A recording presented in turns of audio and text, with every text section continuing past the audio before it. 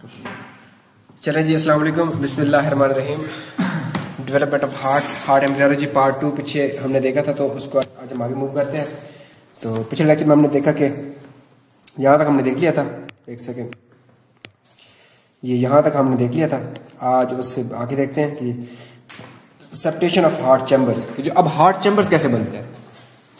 अब तक हमने क्या सीख लिया? अब तक हमने ये सीखा है कि प्रीमेटिव एट्रिया बन एट्रिया बन गया, ठीक है? और ये वेंट्रिकल भी बन गया है, ठीक है? और ये एंडोकल्टर क्वेश्चन बन चुका है, और ये मेट्रल वाल और ट्राइकस्पिड वाल भी बन चुके हैं, और तीनों लेयर्स भी हार्ट की बन चुकी है, ठीक है? और ये एंडोकल्टर क्वेश्चन ये भी बन चुका है। आज हम देखते हैं कि इससे आगे कैसे मूव करते हैं, और इस वक्त हार्ट बीट भी करना शुरू हो गया, क्योंकि उसके अंदर कंडक्शन सिस्टम भी बन चुके हैं। अब उससे आगे देखें, ठीक है? अब देखें, सबसे पहले क्या होता है? सबसे पहले, अभी हम मैं इसकी बात करूँगा, सही है? अब हम एट्रिया को अलग अलग करते हैं। ये एट्रिया है ना? इसके दरमियान में यहाँ पर मैं एक सेप्टम बनाऊँगा ऐसे। जब सेप्टम बन जाएगा इधर तो ये लेफ़्ट एट्रिया और राइट एट्रिया अलग अलग हो जाएँगे दरमियान में इनके वाल्व हो जाएँगे तो इस तरह एट्रिया बन जाएँगे। फिर उसके बाद हम वेंट्रिकल्स की तरफ़ जाएँगे ठीक है?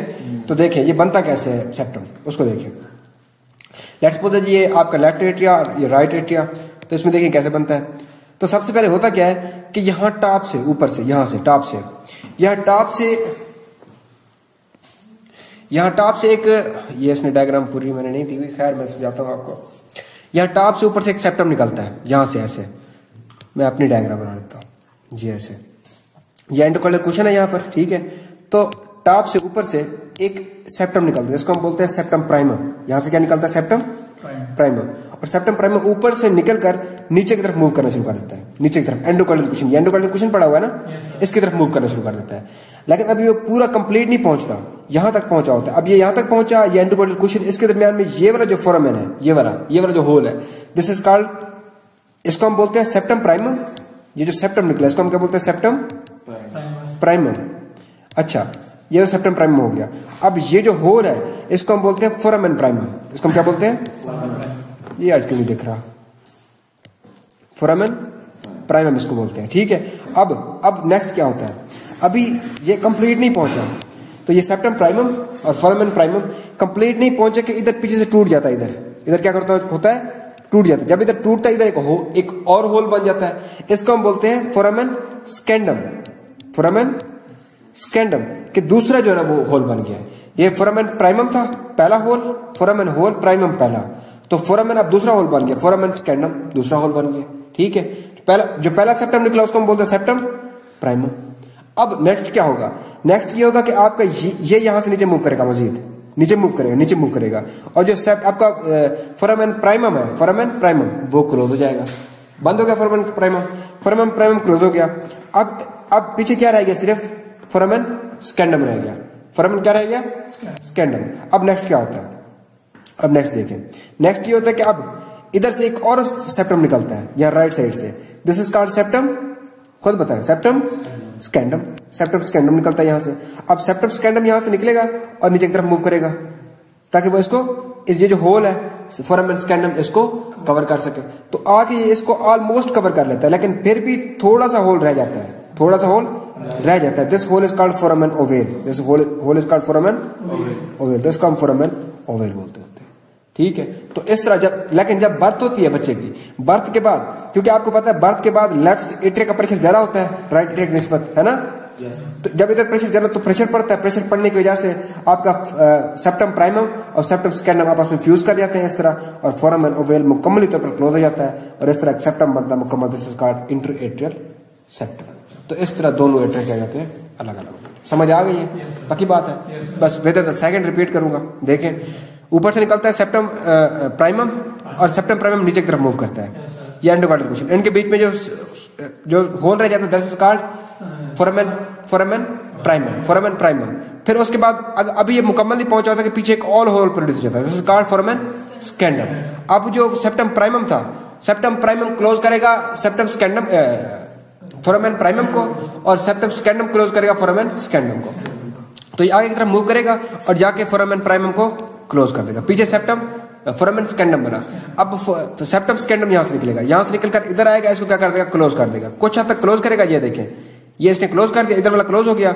अब ये जो रह गया ओस्टियम स्कैंडम है, या फोरामेन स्कैंडम है। फोरामेन या ओस्टियम एक ही चीज़ होती है। तो ये फोरामेन स्कैंडम है।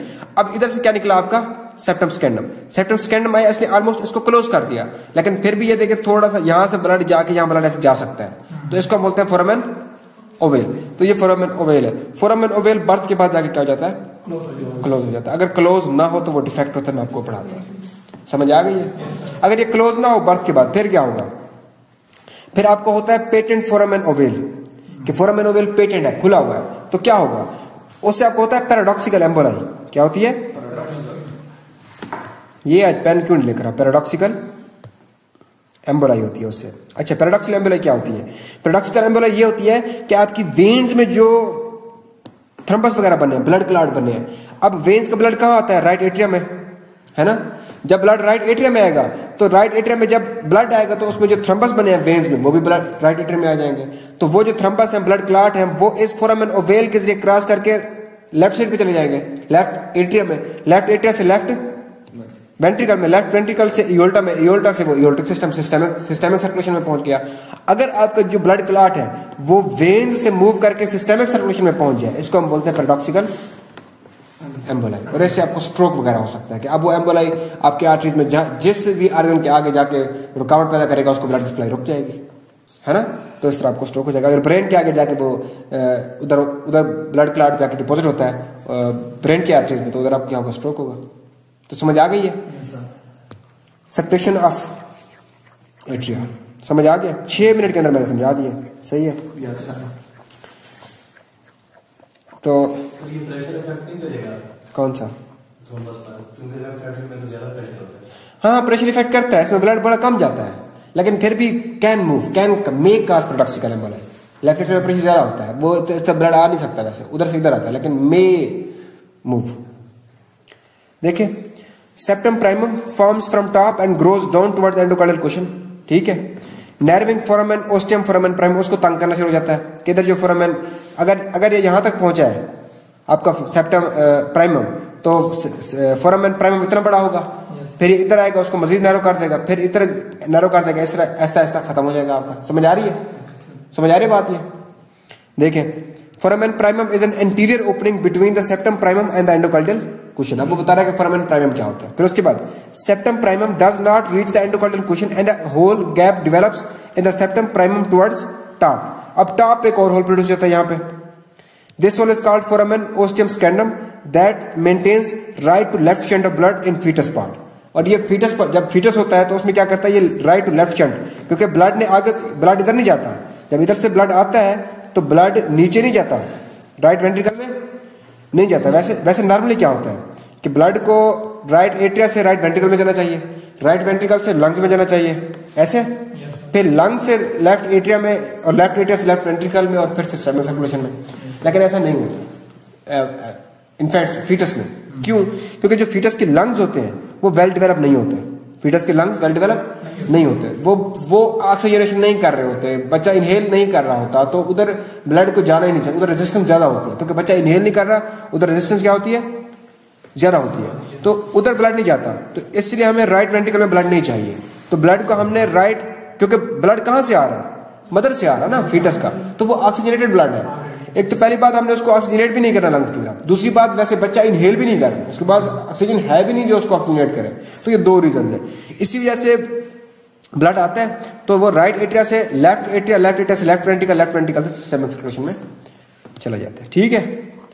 तो अब देखें, ये तब तक आपका जो फोरमेन जो सेप्टम स्कैंडम है, तब तक right to left shunt maintain रखता है कि ब्लड आपके राइट एट्रिया से लेफ़्ट एट्रिया और लेफ़्ट एट्रिया से लेफ़्ट वेंटिकल जाते रहते हैं। Septum primum continues to grow until it reach the endocardial cushion and foramen primum regresses closes तो ये मूव करता जाएगा, आगे करता जाएगा और ये आखिरकार क्या हो जाएगा? क्लोज हो जाएगा foramen primum septum secundum develops on the right side of the septum primum अब सेप्टम स्कैंडम इसके सेप्टम प्राइम के राइट साइड से बनेगा and expands to cover the most of the foramen secundum और फोरामेन स्कैंडम के most को ऐसे cover कर लेगा जाके। कवर कर रहा है क्लोज नहीं कर रहा कवर कर रहा है, ठीक है? It blocks the ostium foramen secundum the remaining passage foramen is called the foramen ovale कुछ फोरामेन ओवेल बन जाएगा। अब ये फोरामेन ओवेल क्या करता है? Blood enters the left atria from right atrium we have foramen ovale bypassing the right ventricle in embryo fetus के right ventricle में वो नहीं जाता। From left atria to left ventricle to systemic circulation because in uterus there is a no need for pulmonary circulation as baby does not breathe air lung दो condition है। Circulation की ज़रूरत भी नहीं है, और ज़रूरत क्यों नहीं है? क्योंकि उधर ऊपर से ऑक्सीडेंट ब्लड उसको पहले से मिल रहा है, और वैसे भी बच्चे के लंग्स में एयर नहीं है। And lungs can be skipped in fetal circulation septum secundum and septum primum fuse together forming the atrial septation septum that seals the foramen ovale soon after birth. Of the greater क्योंकि left atrium में ज़्यादा pressure होता है और left right atrium में कम। तो इधर से प्रेशर पड़ता है तो फोरामेन ओवेल भी क्या हो जाता है? क्लोज हो जाता है। अब अब देखिए इसमें जो प्रीमेटिव एट्रिया है उसने क्या बना दिया? दो राइट एंड लेफ़्ट वेंट्रिकल बना दिए। है ना? Yes. अभी जो मैंने कल बताया था मैंने कहा था ये देखें दो प्रीमेटिव एट्रिया है। अब ये वाला प्रीमेटिव एट्रिया लेफ़्ट एट्रिया बन जाएगा ये प्रीमेटिव एट्रिया राइट एट्रिया बन जाएगा दरमियान में हमने क्या बना दिया है? इंटरवेंटिकुलर इंटर एट्रियल सेप्टम बना दिया। ठीक है? अब अगर इंटर सेप्टम ना बने तो इसमें एक डिफेक्ट होता है पेटेंट फोरमेन ओवेल कि फोरमेन ओवेल खुला रह जाता है। फेलियर ऑफ़ सेप्टम प्राइमम अगर सेप्टम प्राइमम और सेप्टम स्कैंडम दोनों फ्यूज ना हो आफ्टर बर्थ बर्थ के बाद ये फ्यूज ना हो तो क्या आपका जो फोरमेन ओवेल है, वो क्लोज होगा? नहीं, वो खुला रहेगा। So venous thromboemboli venous blood clots can enter the left atria from right atria via patent foramen ovale left atria से लेफ़्ट वेंट्रिकल में जाएँगे वो enter systemic circulation as paradoxical embolism can cause stroke नहीं समझे ये बात। नहीं समझे? मैं इसको दोबारा रिपीट करूँ। मैंने अभी कहा है मैंने कहा इधर वेन्स से जो आपका थ्रम्बस है वो इधर जाएगा राइट एट्रिया में? राइट एट्रिया से मूव करके लेफ़्ट एट्रिया में लेफ़्ट एट्रिया से left ventricle left ventricle left ventricle से सिस्टमिक सर्कुलेशन में। और अगर ब्रेन में जाएगा तो स्ट्रोक कास्ट करेगा इसको हम बोलते हैं पैराडॉक्सिकल एम्बोलाई कि जो थ्रम्बस है वो वेन्स से मूव करके सिस्टमिक सर्कुलेशन में आ गया। तो वो यही रास्ता बता रहा है कि अगर आपका सेप्टम प्राइमम और सेप्टम स्कैंडम क्लोज ना हो फोरम एंड ओवेल क्लोज ना हो तो फोरम एंड ओवेल खुला रह जाता है। ठीक है? वेनस जो थ्रम्बस है जो वेनस ब्लड क्लाट्स है जो वेन्स में है can enter the left atria from right atria via patent foramen ovale left atria से फिर लेफ़्ट एट्रिया में आ गए? अब लेफ़्ट एट्रिया से लेफ़्ट वेंट्रिकल में जाएँगे। फिर वहाँ से सिस्टमिक सर्कुलेशन में जाएँगे। इसको हम बोलते हैं पैराडॉक्सिकल कैन काज समझ आ गई है? पक्की बात है? अब दोनों एट्रिया बना लिया आपने। अब वेंट्रिकल्स बनाते हैं। ठीक है? अब वेंट्रिकल्स बनाते हैं। अब वेंट्रिकल्स में क्या होता है? ये देखें ये ये राइट एट्रिया लेफ़्ट एट्रिया बन गए। अब हमने ये वेंट्रिकल्स बनाने हैं ठीक है? फिर उसके बाद हम इनफ्लो ट्रैक्स और आउटफ्लो ट्रैक्स बनाएँगे। स्पिनर वेना के बाद इन्फिनर वेना के बाद इोल्टा और पल्मोनरी ट्रंक बनाएँगे। ठीक है? चलें जी अब देखें सबसे पहले क्या होता है? नंबर वन पे नंबर वन पे क्या होता है? नंबर वन पे नंबर वन पे ये होता है कि यहाँ नीचे से यहाँ नीचे से बिल्कुल नीचे से। From the apex of the heart यूँ समझ ले। यहाँ से एक सेप्टम निकलता है, जैसे वहाँ पर ऊपर से सेप्टम निकल रहा था, यहाँ से नीचे से सेप्टम निकल रहा था। इसको हम बोलते हैं मस्कुलर इंटरवेंटिकुलर सेप्टम ये यहाँ नीचे से निकलता है और ऊपर की तरफ़ मूव कर देते यहाँ पर एंडोकार्डियल क्वेश्चन होगा ना? पीछे की तरफ़, इसके पीछे एंडोकार्डियल क्वेश्चन होगा। तो यहाँ से नीचे से निकलेगा और एंडोकार्डियल क्वेश्चन की तरफ़ मूव करना शुरू कर देगा। इसको हम बोलते हैं मस्कुलर इंटरवेंटिकुलर सेप्टम अभी ये मुकम्मल एंडोकार्डियल क्वेश्चन की तरफ़ नहीं पहुँचा। कि इसके दरमियान में अभी एक सुराख है ये वाला। इसको हम बोलते हैं इंटरवेंटिकुलर फोरमेन ठीक है, समझ आ रहा है? नीचे से निकलता है इंटरवेंटिकुलर मस्कुलर सेप्टम और अभी तक एंडोकार्डियल क्वेश्चन तक नहीं पहुँचा के दरमियान में एक सुराख है इंटरवेंटिकुलर फोरमेन के दो वेंट्रिकल्स के दरमियान में होल गैप ठीक है, समझ आ गया? ये स्टेप वन में होता है। अब स्टेप टू में क्या होता है? स्टेप टू में ये होता है कि ऊपर से एक और सेप्टम निकलता है एंडोकार्डियल क्वेश्चन से एक और सेप्टम निकलता है। इसको हम बोलते हैं aorticopulmonary septum aorticopulmonary septum endocardial cushion से निकलता है। ये क्या करता है? ये रोटेट करता है। आपको नज़र आ रहा होगा। ये ऐसे और ये ऐसे। नज़र आ रहा है? Yes, ये ऐसे रोटेट करता है। ये जैसे ही रोटेट करता है ये रोटेट करता है और नीचे की तरफ़ मूव करता है। ये जाके आपके इससे मिल जाता है मस्कुलर से। अब मस्कुलर और योल्टिको पल्मोनरी सेप्टम दोनों मिल गए। तो जो सेप्टम बनता है उसका ये वाला मोस्टली ये वाला part this is called membranous interventricular septum तो आपका जो इंटरवेंटिकुलर फोरामेन था वो भी क्लोज हो गया और आपका मुकम्मल एक सेप्टम बन गया. This is called interventricular septum समझ आ रहा है? इंटरवेंटिकुलर सेप्टम बन गया दरमियान में. इंटरवेंटिकुलर सेप्टम तो बन गया. लेकिन इस एंडोकार्डियल क्वेश्चन के ये क्या पड़ा हुआ है? बल्बस कॉल्डस बल्बस कॉल्डस से बन जाएगा आपका राइट वेंट्रिकल और प्रीमेटिव वेंट्रिकल से बन जाएगा आपका लेफ़्ट वेंट्रिकल तो इस तरह वेंट्रिकल भी बन गए पक्की बात है? अगर इसमें डिफेक्ट हो ये जो सेप्टम बन रहे हैं या तो मस्कुलर सेप्टम या तो इोल्टिको पल्मोनरी सेप्टम या फिर जो आपका मेम्ब्रेनस इंटरवेंटिकल सेप्टम बना है मोस्टली इसमें डिफेक्ट होता है मेम्ब्रेनस इंटरवेंटिकल सेप्टम अगर ये ना बने तो क्या ये दोनों सेप्टम आपस में मिलेंगे? नहीं तो जब नहीं मिलेंगे ये होल जो ये कवर होगा? नहीं। जब होल कवर नहीं होगा इसको हम बोलते हैं वेंट्रिकुलर सेप्टल डिफेक्ट कि if the tissues of the interventricular septum does not form properly it leads to open interventricular foramen वो खुला रहता है। It is the most common congenital cardiac anomaly and usually occurs in the membranous septum ठीक है? और इसको हम congenital heart defect में बड़ा डिटेल में देखेंगे कि ये होती क्या है। अभी बस इतना देख लें कि इसमें जो है ना ये जो इंटरवेंटिकल सेप्टम होता है इसमें ये होल बाकी रह जाता है ये क्लोज नहीं होता। ठीक है? समझ आ गई है? तो देखें इसकी। A tissue called muscular interventricular septum develop from apex and grows upwards to the endocardial cushion इसको हम क्या बोलते हैं? Muscular interventricular septum opening between the muscular ventricular septum and endocardial cushion is called interventricular foramen समझ आ रहा है doctor Junaid yes sir a tissue called aorticopulmonary septum develops from endocardial cushion ऊपर से ये वाला ऊपर से एंडोकार्डियल क्वेश्चन निकलेगा। Aorticopulmonary septum rotates and fuses with the muscular septum ठीक है? रोटेट करेगा और इसके साथ जाके मिलेगा। To form the membranous interventricular septum. This rotation and fusion closes the interventricular foramen and separates the right ventricle from left left ventricle. Primitive ventricle forms left ventricle while the part of bulbous cordus form the right ventricle. ठीक है अब हमने शुरू में पहले lecture में कल मैंने कहा था डॉक्टर जुबैर कि बल्बस कॉल्टस दो चीज़ें बनाता है एक राइट वेंट्रिकल और एक आउटफ्लो ट्रैक्स राइट वेंट्रिकल तो इसने बना दिया इसका एक पार्ट राइट वेंट्रिकल बना देगा इसका दूसरा पार्ट जो है ना वो आउटफ्लो ट्रैक्ट बनाता है वहाँ है ठीक है तो अब आपने क्या बना लिया? हार्ट की तीनों लेयर भी बना ली मेटल वाल बना लिया ट्राइकस्पेट वाल भी बना लिया उसके चारों चैम्बर भी बना लिया इंटर सेप्टम भी बना लिया इंटरवेंटिकुलर सेप्टम भी बना लिया उसका कंडक्शन सिस्टम भी बना लिया वो बीट भी कर रहा है। अब क्या रहता है? इनफ्लो ट्रैक्ट एंड बाकी सब कुछ बन गया। कि अब superior vena cava inferior vena cava कैसे बनेगी? और आउटफ्लो ट्रैक्ट कैसे बनेंगे? इोल्टा एंड पल्मोनरी ट्रंक एक और चीज़ भी रह गई है। इोल्टा और पल्मोनरी ट्रंक के अंदर वॉल्व भी तो होते हैं सेमिलर वॉल्व वो भी हमने बनाने हैं ठीक है इोल्टिक वाल और पल्मोनरी वाल वो भी हमने बनाने इंशाल्लाह हैं। आप अभी तक टाइम देख रहे हैं? नहीं सर ये नाले देखो क्या मिलता यार आप देखें आप सीख देखिए आज मैंने स्पीड बड़ी अच्छी खासी रखी हुई है। sir. है ना? समझ आ रहा है ना आपको? अच्छी खासी स्पीड मैंने रखी हुई है। अच्छी खासी मैंने स्पीड इसलिए रखी हुई है क्योंकि यही सारा लेक्चर जो मैंने दो लेक्चर बनाए इसी दो लेक्चर में से जो इंपॉर्टेंट है वो मैंने फ़र्स्ट एड की बुक से रीड कराने नेक्स्ट लेक्चर में और उसमें जो है ना वो मैंने बड़ा उधर मैंने बड़ा डिटेल में पढ़ाना है फ़र्स्ट एड की बुक से। उधर मैं सारा रिव्यू कराऊँगा उधर मैंने चीज़ें बार बार पढ़ानी है नेक्स्ट लेक्चर में जिसको समझ नहीं आ रहा वो नेक्स्ट लेक्चर जब देखेगा फ़र्स्ट एड से उसको सब समझ आ जाएगा। ठीक है? उधर इंपॉर्टेंट इंपॉर्टेंट चीज़ें उधर मैंने डिटेल में समझानी है अब डेवलपमेंट ऑफ़ इनफ्लो ट्रैक्स ये कैसे बनते हैं? चलें जी इसको देखें। याद आ रहा है सबसे नीचे क्या था? साइनस फिनोसिस साइनस फिनोसिस का एक राइट हार्म था एक लेफ़्ट हार्म था। अब इसकी सबसे आउट वाली लेयर कौन सी थी? कॉमन कार्डिनल वेन बीच वाली अम्बलाइकल वेन थी अंदर वाली विटलाइन लाइन विटलाइन वेन थी अब होता क्या है कि इनफ्लो ट्रैक्स कैसे बनते हैं? सुपीरियर वेना केवा और इंफीरियर वेना केवा कैसे बनते हैं? ठीक है? और आपका क्रोनरी साइनस कैसे बनता है? कि क्रोनरी साइनस कैसे बनता है? कि आपकी जो हार्ट को जो ब्लड की सप्लाई हो रही है हार्ट की वेज कैसे बनती है? वो कैसे ब्लड को वापस ड्रेन करती है? क्रोनरी साइनस वो कैसे बनती है? ये अभी हमने देखना है।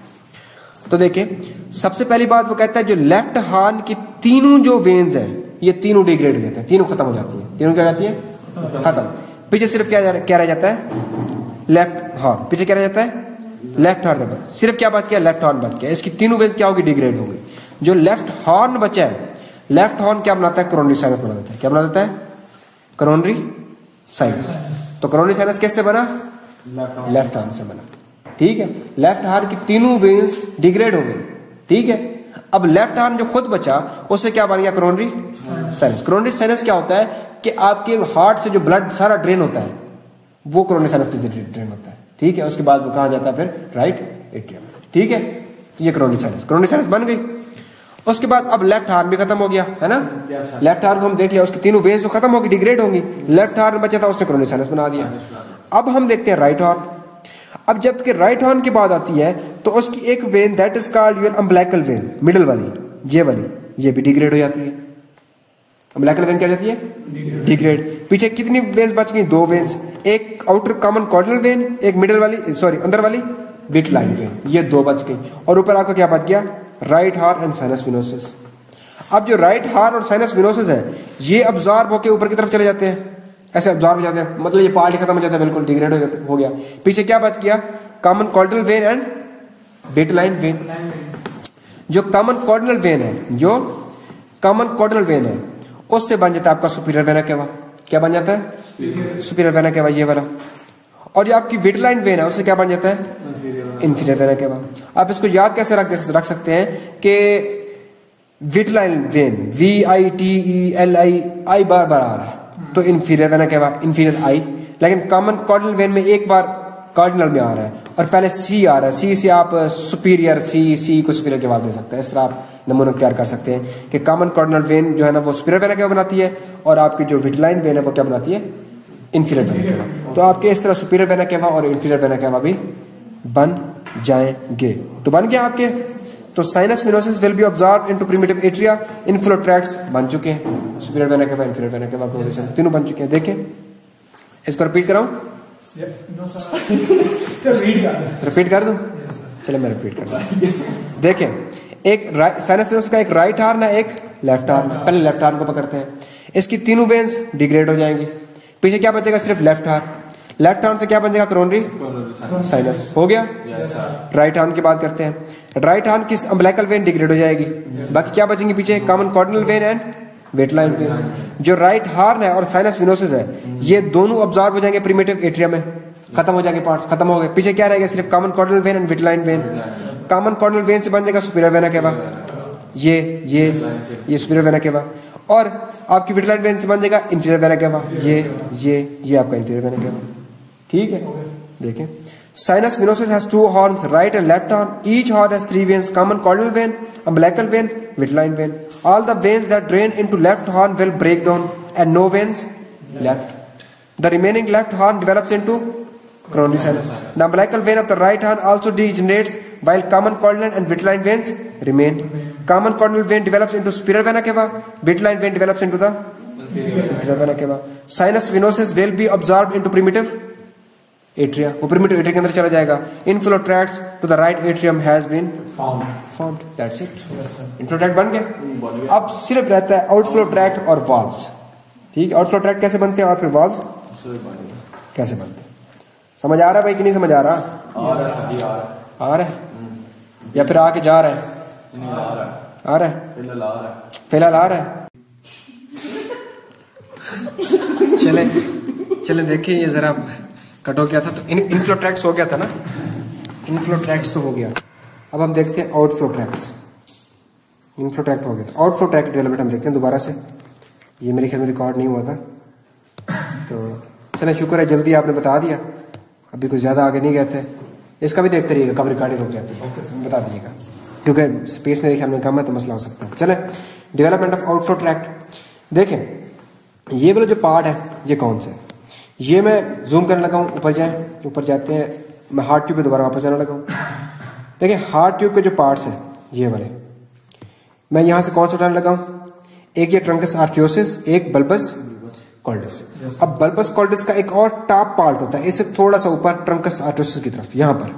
This is called conus cordis इसको हम बोलते हैं कोनस कॉल्डिस बोलते होते हैं। अब कोनस कॉल्डिस ट्रंकस आर्टियोसिस और बल्बस कार्डिस तीनों को मैं उठाऊँगा और मैं जूम इन करने जा रहा हूँ। ठीक है? इन्हीं से बनेंगे आपके आउटफ्लो ट्रैक्ट बल्बस कॉल्डिस से। ठीक है? तो बल्बस कॉल्डिस से आप ये देखें। कहाँ पे ये है ना? ये है ना? हाँ ये है। चले, देखें। ये आपका ऊपर वाला ट्रंकस आर्टियोसिस ये नीचे वाला बल्बस कॉल्डिस और इसका ये वाला पार्ट यहाँ वाला। ये कोनस कॉल्डिस ठीक है? अब देखिए होता क्या है? सबसे पहले जो न्यूरल क्रस्ट सेल्स हैं, वो यहाँ से माइग्रेट करते हैं। और माइग्रेट करके न्यूरल क्रस्ट सेल्स कहाँ पे आते हैं? आपके ट्रंकस आर्टियोसिस में आते हैं। और ट्रंकस आर्टियोसिस में दो रिजेस बनाते हैं। एक उसकी लेफ़्ट लेफ़्ट वाल पे एक उसकी राइट वाल पे। तो ये जो रिजेस बनते हैं इनको बोलते हैं ट्रंकल रिजेस क्योंकि ये ट्रंकस आर्टियोसिस में बन रहे हैं। फिर neural crest cells bulbus ridges में बल्बस रीजन में जाते हैं। उधर भी ऐसे। एक राइट साइड से एक लेफ़्ट साइड से ऐसे रिजेस बन, बनती है दो रिजेस ये राइट साइड से ये लेफ़्ट साइड से। इनको बोलते हैं बल्बर रिजेस और कोनस जो कॉल्डिस था, उधर भी जाते हैं न्यूरल क्रस्ट अब इधर राइट और, इधर राइट और लेफ़्ट नहीं बनेंगे। इंटीरियर पोस्टीरियर एक यहाँ आगे से बनेगा, एक यहाँ पीछे से बनेगा। इसको बोलते हैं इंटीरियर पोस्टीरियर ठीक है? उसकी रिजेस बनेगी। अब इनको हम बोलते हैं कोनस रिजेस क्या बोलते हैं? कोनस रिजेस इससे नेक्स्ट स्टेप में क्या होगा? इससे नेक्स्ट स्टेप में क्या होगा? नेक्स्ट स्टेप में ये होता है कि आपकी ये जो ट्रंकल रिजेस है, ये वाली, ये दोनों आपस में फ्यूज होती हैं ट्रंकल रिजेस दोनों। और एक ही रिज बना देती है। That is called that is called truncal septum truncal septum फिर आपके इसी तरह बल्बस दोनों ये वाली दोनों आपस में फ्यूज होगी और एक ही सेप्टम बना देंगे that is called bulbar septum क्या बना देंगे? बल्बर सेप्टम और इसी तरह आपकी जो कोनस रिजेस हैं जो इंटीरियर पोस्टीरियर पड़ी हुई थी वो भी आपस में मिलेंगी और क्या बना देगी? एक ही septum that is called conus septum क्या क्या बन जाएगा अब? कोनस सेप्टम तो आपके तीन सेप्टम बन गए। ट्रंकल सेप्टम बल्बर सेप्टम और दरमियान में कोनस सेप्टम लेकिन कोनस सेप्टम ऐसे सेंटर में पड़ा हुआ है? आगे पीछे पड़ा हुआ है। ठीक है? ऐसे आगे पीछे। अब होता क्या है? नेक्स्ट नेक्स्ट ये होता है कि यहाँ से ट्रंकल आर्ट्रियोसिस और बल्बर सॉरी ट्रंकल सेप्टम और बल्बर सेप्टम दोनों आपस में कनेक्ट होते हैं फ्यूज होते हैं। लेकिन किस तरह फ्यूज होते हैं? कि इसका ये वाला पार्ट इधर फ्यूज होगा ये वाला पार्ट इधर फ्यूज होगा। अब ये एक स्ट्रक्चर बन जाएगी ऐसे ये देखिए स्ट्रक्चर बन गई ये वाली ऐसे एक। अब ये स्ट्रक्चर के दरमियान में यहाँ पर क्या पड़ा हुआ है? कोनस सेप्टम अब कोनस सेप्टम सेंटर में पड़ा हुआ है और ये दोनों उसके मिले हैं और क्या हो रहे हैं? कॉर्क स्क्रू स्ट्रक्चर बन गया। क्या बन गया? कॉर्क स्क्रू स्ट्रक्चर बन गई है अब ये जो न्यू सेप्टम बना है ये जो न्यू स्पाइरल लाइक स्ट्रक्चर बनी है स्पाइरल लाइक स्ट्रक्चर इस तरह की। This structure is called aorticopulmonary septum इसको हम क्या बोलते हैं? यूल्टिकोपल्मोनरी सेप्टम इस तरह का लाइक स्ट्रक्चर बन गया यूल्टिकोपल्मोनरी सेप्टम अब यूल्टिकोपल्मोनरी सेप्टम क्या करता है? कि ये देखे पहले एक ट्यूब की तरह थी ना ये सारी। अब यूल्टिकोपल्मोनरी सेप्टम दो काम करती है। पहली बात तो ये इस तरह दरमियान में बना एक तरफ़ से यूल्टा बना देगी एक तरफ़ से पल्मोनरी ट्रंक बना देगी पल्मोनरी आर्टरी बना देगी या ट्रंक बना देगी। लेकिन दूसरा काम क्या करती है? दूसरा काम ये रोटेट करती है। अभी हमने ऊपर भी देखा था जब हम जो है ना वो बना रहे थे इंटरवेंट्रिकुलर सेप्टम उधर भी हमने कहा यूल्टिक पल्मोनरी सेप्टम क्या करता है? रोटेट करता है। तो इधर ये क्या करेगा? रोटेट करेगा। जैसे ही रोटेट करेगा पहली चीज़ तो ये कि एक क्या बना देगा? योल्टा एक पल्मोनरी ट्रंक दूसरा क्या करेगा? दूसरा ये करेगा इस तरह पार्टीशन करता है कि यहाँ से जो योल्टा है वो नीचे की तरफ़ चला जाता है। ऊपर क्या है? पल्मोनरी ट्रंक है। योल्टा कहाँ चला जाएगा? नीचे। और फिर नीचे से ऊपर राइट की तरफ़ मूव करेगा। किसकी तरफ़? फिर उससे होता हुआ ऐसे इधर चला जाएगा। ठीक है? उसके बाद pulmonary trunk pulmonary trunk left से राइट राइट वेंटिकल से निकलेगी और ऊपर रहेगी। और फिर वो कहाँ चली जाएगी? अंडरनेथ नीचे चली जाएगी। तो ये जो स्ट्रक्चर इस तरह की होती है ये किसकी वजह से होती है? आपका यूल्टिक पल्मोनरी सेप्टम क्या करता है? रोटेट करता है। उसकी वजह से ये सारी चीज़ें आ रही होती है। ठीक है? तो समझ आ गई है? तो इसी तरह ब्लड फ्लो भी इसी तरह होता है। देखें ब्लड फ्लो कैसे? अब अगर यूल्टिक आर्थ में ब्लड फ्लो देखें यूल्टा में तो वो कहता है ब्लड यहाँ से आएगा लेफ़्ट वेंट्रिकल से और पहले नीचे से जाएगा। ऑफ़ कोर्स ऊपर क्या पल्मोनरी ट्रंक नीचे है। नीचे से जाएगा, फिर राइट साइड की तरफ़ जाएगा, फिर ऐसे चला जाएगा। और अगर हम इसकी बात करें पल्मोनरी ट्रंक की तो ब्लड पहले ऊपर से आएगा, ऊपर से आकर फिर इधर राइट राइट लेफ़्ट चला जाएगा लेकिन नीचे से जा रहा है। कहाँ से जा रहा है? नीचे से जा रहा है। तो समझ आ गई है? कि पहले आपके ट्रंकल रिजेस बने बल्बर रिजेस बने कोनस रिजेस बने ये आपस में मिले तो truncal septum bulbar septum conus septum ये आपस में ऐसे मिलेंगे। तो एक लाइक स्ट्रक्चर बन जाएगी this is called aortic pulmonary septum इससे आपके योल्टा और क्या बन जाएँगे? पल्मोनरी ट्रंक बन जाएगी। फिर ये रोटेट करेगा जैसे रोटेट करेगा तो आपके इस तरह के योल्टा और वो बन जाएँगे। आपका योल्टा पोस्टीरियर साइड पे चला जाएगा यहाँ से पोस्टीरियर साइड पे और पल्मोनरी ट्रंक इंटीरियर साइड पे। समझ आ गई है? इसकी रीडिंग करें। चलो देखिए रीडिंग देखिए इसकी। Neural crest cells migrate into truncus arteriosus and forms truncal ridges on the right and left तो ये देखें, ये राइट और लेफ़्ट साइड पर रिजेस बन जाएँगी ये वाली। इसी तरह neural crest cells also migrate into bulbus cordis and forms bulbar ridges on the right and left neural crest cells enter into the top part of the bulbus cordis called the conus cordis लेकिन इसकी posterior और interior वाल पे बनेंगे। अब ये सारे आपस में मिलेंगे। ट्रंकल रिजेस मिलकर ट्रंकल सेप्टम बल्बर रिजेस मिलकर बल्बर सेप्टम और कोनस रिजेस मिलकर कोनस सेप्टम बना देंगे। अब truncal and bulbar septum connect होंगे आपस में, और एक किसके किसके लेकिन सेंटर में क्या पड़ा होगा? कोनस सेप्टम और एक स्पाइरल शेप स्ट्रक्चर बना देंगे। This is cork screw type this is called aortic pulmonary septum जो कि आपके यूल्टिक आर्च और पल्मोनरी ट्रंक को क्या करता है? अलग अलग कर देता है। ठीक है? ब्लड फ्लो देखें। यूल्टिक आर्च में ब्लड फ्लो कैसे होगा? Blood flow from left ventricle moves posteriorly जब लेफ़्ट वेंट्रिकल से आएगा तो पोस्टीरियर जा रहा है ना नीचे? यूल्टा में ब्लड पीछे की तरफ़ जा रहा है। बल्बर सेप्टम स्पाइरल अपवर्ड्स ऊपर की तरफ़ राइट वर्ड की तरफ़ अपवर्ड आता है and leaves the trunk anterior of the truncal septum तो वो यहाँ से आगे की तरफ़ मूव करके जा रहा है। ठीक है? अब इंटीरियर यानी पोस्टीरियर से पोस्टीरियर से गया, फिर इधर ऊपर की तरफ़ उभरा, फिर यहाँ पोस्टीरियर इंटीरियर से लीव कर गया। पोस्टीरियर से घुसा था। ठीक है? अब अगर पल्मोनरी ट्रंक की बात करें तो उसमें घुसा था पोस्टीरियर से, इसमें घुसेगा इंटीरियर से, ऊपर से घुस रहा है। फिर उसमें लीव कैसे, किस तरह किया था? इंटीरियर इसमें लीव किस तरह करेगा? पोस्टीरियर दैट्स इट और ये किसकी वजह से? यूल्टिको पल्मोनरी सेप्टम की? रोटेशन की वजह से। तो ये रोटेशन को नीचे बता रहा है कि aortico pulmonary trunk rotates and separates the aortic arch from pulmonary trunk and blood flow follow the same path as their blood flow along aortico pulmonary septum देखिए यूल्टिक आर्च से क्या होगा? Blood flow starts underneath pulmonary trunk यानी posterior जाएगा फिर leaves above anterior इधर उलट क्या करेगा? पहले इंटीरियर जाएगा अबव फिर continues underneath posterior anterior posterior बोला गया कि क्या याद करना है कि योल्टा में पहले पोस्टीरियर जाता है और इंटीरियर लीव करता है। और आपकी जो पल्मोनरी ट्रंक है उसमें इंटीरियर जाता है और पोस्टीरियर लीव करता है। दैट्स इट ओके अब इसमें कुछ इनोमलीज होती हैं कुछ प्रॉब्लम्स होते हैं। अगर ये सही तरह से ना बने यूल्टिको पल्मोनरी सेप्टम तो।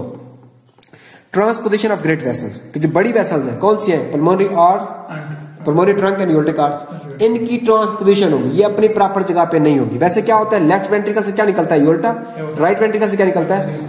और दूसरी चीज़ जो आपका यूल्टा होता है ये पोस्टीरियर से निकल रहा था ना? और फिर इंटीरियर लीव कर रहा था। और जो आपका पल्मोनरी ट्रंक होता है ये कैसे निकल रहा था? इंटीरियर से। निकल रहा था और पोस्टीरियर से क्या कर रहा था? लीव करेगा। और आपका जो योल्टा होता है ये लेफ़्ट वेंट्रिकल से निकलता है। और ये पल्मोनरी ट्रंक होता है ये राइट वेंट्रिकल से निकलता है। ऐसे? लेकिन अब ग्रेट वेसल्स की एबनॉर्मलिटीज होगी कैसे भला? वो क्या कहता है? वो कहता है, जो योल्टा है, ये राइट लेफ़्ट वेंट्रिकल की बजाय राइट वेंट्रिकल से निकल रहा होगा। और जो पल्मोनरी ट्रंक है, वो राइट वेंट्रिकल की बजाय लेफ़्ट वेंट्रिकल से निकल रही होगी। जो योल्टा है, वो क्या होना चाहिए? पोस्टीरियरली पोस्टीरियर होना चाहिए, लेकिन वो क्या होगा? इंटीरियर होगा। जो पल्मोनरी ट्रंक है, वो इंटीरियर होना चाहिए, वो क्या होगा? पोस्टीरियर होगा। तो इसको हम ट्रांसलेशन ऑफ़ ग्रेट वेसल्स इसको हम डिटेल में कॉन्जेनिटल हार्ट डिफेक्ट्स में पढ़ेंगे, बड़ा डिटेल में करके। अभी सिर्फ़ इतना देख लें बस।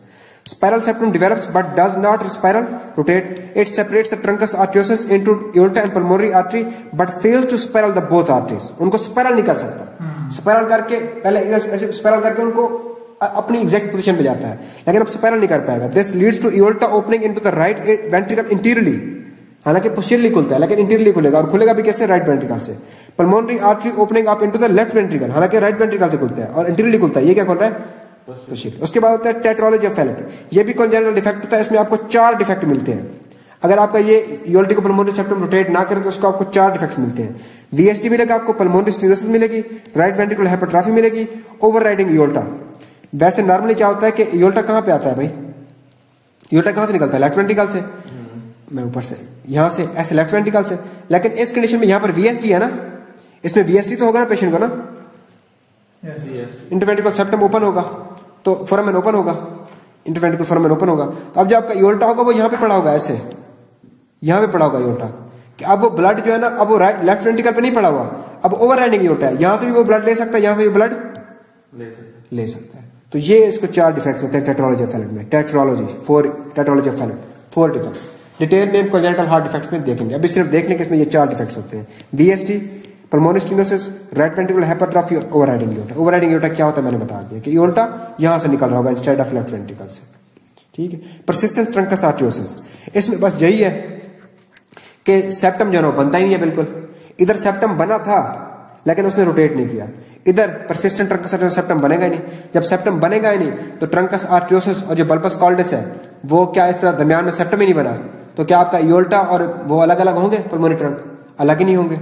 तो एक ही वैसल होगी बड़ी जो आपके हार्ट से निकल रही होगी समझ आ रही तो ये होती है truncus arteriosus truncus arteriosus does not separate into aorta and pulmonary trunk this results in single persistent truncus arteriosus that carries blood from both atria and ventricle दोनों से निकलेगा अब सब कुछ बन गया है सिर्फ़ सेमिलुलर वाल्व नहीं बनाए वो बना लेते हैं छोटा सा ये रहता है बस ठीक है ठीक है भाई yes, अब इसमें बल्बस कॉल्डिस का रोल है सिर्फ़ और कोनस कॉल्डिस का ठीक है इन दोनों का रोल है अब हमने क्या किया हमने कहा न्यूरल क्रस्ट सेल्स फिर neural crest cells neural crest cells enter हुए किसमें इंटर हुए बल्बस कॉल्डस में या फिर कोनस कॉल्डस में?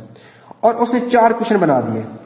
एक एक राइट साइड से क्वेश्चन बना दिया, एक लेफ़्ट साइड से क्वेश्चन बना दिया, एक पोस्टीरियर साइड से क्वेश्चन बना दिया, एक इंटीरियर साइड से क्वेश्चन बना दिया। चार क्वेश्चन बन गए ना? न्यूरल क्रस्ट सेल्स अंदर है अब चार क्वेश्चन के बाद अगली चीज़ होती है इन्वेजिनेशन कि ये जो राइट और लेफ़्ट क्वेश्चन थे, इनमें इन्वेजिनेशन होगी। पहले इस तरह था ना? यार इस तरह था ना? इस तरह वाला। ये इस तरह है। अब इधर इन्वेजिनेशन होगी इधर और इधर। तो ये देखिए लुकिंग लाइक जैसे कि दो बन रहे हो है ना? ऐसे ही हो रहा है ना? लुकिंग लाइक जैसा कि दो, दो बन रहे हो। तो इस इन्वेजिनेशन के दो बन जाती है एक इधर ऊपर एक नीचे। अब अब देखें जो ये वाला होगा जो ऊपर वाला होगा उसमें ये पुस्टीरियर क्वेश्चन तो होगा होगा है ना? पुस्टीरियर क्वेश्चन होगा। लेकिन इधर से जो इन्वेजिनेशन हो रही थी वो लेफ़्ट क्वेश्चन को दो में डिवाइड कर देगा। एक ऊपर वाला हिस्सा एक नीचे वाला हिस्सा। जो ऊपर वाला हिस्सा है वो ऊपर चला जाएगा पोस्टीरियर के पास और जो नीचे वाला हिस्सा है वो नीचे वाले के पास चला जाएगा। और इसी तरह राइट के साथ भी यहाँ दरमियान से इमेजिनेशन हुई हाफ़ हिस्सा ऊपर चला जाएगा हाफ़ नीचे। तो ये हाफ़ ऊपर चला गया और हाफ़ नीचे। और नीचे वाला पार्ट में इंटीरियर तो था ही था। तो ये इंटीरियर वाला पार्ट ये पोस्टीरियर वाला पास उसके पास भी तीन क्वेश्चन है इसके पास भी तीन। क्वेश्चन है। अब ये जो पोस्टीरियर वाला पार्ट है ये तीन क्वेश्चन तीन कस्प बन जाएँगे। तीन क्वेश्चन क्या बन जाएँगे? तीन कस्प बन जाएँगे। और ये जो पोस्टीरियर वाला है ये लेफ़्ट वेंट्रिकल का आउटफ्लो ट्रैक्ट बनेगा। लेफ़्ट वेंट्रिकल का आउटफ्लो ट्रैक्ट क्या है? इोल्टा इोल्टा कहाँ से निकल रहा था? पोस्टीरियर साइड से। तो ये भी क्या है? पोस्टीरियर तो पोस्टीरियर पोस्टीरियर में जाके बैठ जाएगा और क्या बना देगा? इोल्टिक वाल्व बना देगा। और आप यूल्टिक वाल्व को राइट साइड से सुनते हैं। हालाँकि निकलता कहाँ से है? लेफ़्ट वेंट्रिकल से। लेकिन सुनते कहाँ से? क्यों? अभी मैंने बताया है कि जो इोटा है जो इोल्टा है वो निकलता है यहाँ से है लेकिन राइट साइड की तरफ़ मूव कर जाता है। तो यहाँ पर आपका वाल्व बड़ा होता है राइट साइड और जो इसका वाल्व होगा ये इंटीरियर निकल रहा है ना तो जो इंटीरियर पार्ट है वो क्या बनाएगा? पल्मोनरी ट्रंक का वाल्व बनाएगा। पल्मोनरी ट्रंक पल्मोनरी वाल्व बनाएगा। और ये आपको कहाँ पे मिलेगा? राइट पे पे? लेफ़्ट पे। ये आपको लेफ़्ट पे मिलेगा क्योंकि ये लेफ़्ट की तरफ़ मूव कर रहा है। ठीक है? समझ आ गई है बड़ा आसान सा कंसेप्ट है ये वाला सेमिनर वाल्व वाला। तो देखें लेफ़्ट वाला पल्मोनरी वाल्व बना ये लेफ़्ट साइड पे पड़ा होगा पल्मोनरी वाल्व और ये राइट वेंट्रिकल आउटफ्लो ट्रैक्ट का बनेगा क्योंकि इंटीरियर है। समझ आ गई चीज़ें? फिर सुन लें कि चार कस्ट बनेंगे न्यूरल क्रस्ट के पल्बस कॉल्टस और कोनस कॉल्टस में पोस्टीरियर इंटीरियर और राइट लेफ़्ट फिर इन्वेजिनेशन होगी राइट और लेफ़्ट में। तो इन्वेजिनेशन भी ऐसे एक तो ये दो पार्ट बन जाएँगे ऐसे एक पार्ट ऊपर वाला एक पार्ट नीचे वाला। नीचे वाला। क्योंकि इन्वेजिनेशन मिडल में हो रही है तो लेफ़्ट और राइट जो है ना ये दो दो पार्ट में डिवाइड हो जाएँगे। इसका अलग पार्ट इसका अलग इसका अलग इसका अलग। तो ये ऊपर वाला पोस्टीरियर और हाफ़ राइट वाला हाफ़ लेफ़्ट वाला ये इंटीरियर हाफ़ राइट वाला हाफ़ लेफ़्ट वाला। तो इस तरह जो है ना ये आपस में दो ये जो तीन तीन ये कुशन है ये तीन कस्प बन जाएँगे। अब सेमिलर वाल बन जाएँगे उनके तीन तीन कस्प बन जाएँगे। जो पोस्टीरियर वाला है वो क्या बन जाएगा? लेफ़्ट आउटफ्लो ट्रैक्ट का यूटेक वाल बन जाएगा और ये राइट साइड पे पड़ा होगा। राइट साइड पे हम इसको सुनते हैं। और परमोनरी वाल्व का बन जाएगा राइट वेंट्रिकल आउटफ्लो ट्रैक्ट और ये लेफ़्ट साइड पे पड़ा होगा। देखें इसकी reading neural crest cells into the part of bulbus cordis and conus cordis and form the four cushions ये वाले. Rotation of the aortic pulmonary trunk अब जो इन्वेजिनेशन हो रही है ये किस क्रिया से हो रही है? ये वाली इन्वेजिनेशन ये वही रोटेशन का मामला सारा जो यूटेक पल्मोनरी सेप्टम रोटेट करता है. In the right and left cushions eventually invagination splits it into two parts एक इंटीरियर पार्ट और एक posterior it also splits the right and left cushions into two pieces. इनको भी दो पीसेस में convert करेगा. एक तो ये इंटीरियर पार्ट बना एक पोस्टीरियर एक इंटीरियर एक पोस्टीरियर और जो ये लेफ़्ट और राइट क्वेश्चन है इनको भी डिवाइड करके दो में डिवाइड कर देगा ठीक है? Posterior part contains one posterior cushion एक पोस्टीरियर कुशन उसके पास क्या होता है? एक पोस्टीरियर होता है ठीक है? हाफ़ राइट और हाफ़ लेफ़्ट कुशन होता है। ये हाफ़ हाफ़ समझ आ रहा है? During rotation this part moves posteriorly पीछे की तरफ़ चला जाता है and towards the right side these three cushions become the three cusp of the aortic valve इसी तरह anterior part contains one anterior इसका एक इंटीरियर होता है और हाफ़ राइट और half left during rotation it moves anterior anterior side की तरफ़ चला जाता है और इंटीरियर साइड पे जाके ये लेफ़्ट साइड की तरफ़ मूव कर जाता है. These three cushions become three cusp of the pulmonary valve ठीक है? मजीद मैं आपको इंशाल्लाह ताला कल जो है ना ये फ़र्स्ट की बुक से रीड कराऊँगा. जो कमी बेशी रहेगी, वहाँ पर ये सारी पूरी हो जाएगी. ठीक है? कोई क्वेश्चन है तो पूछें अदरवाइज़ क्लास जो है ना वो डिसमिस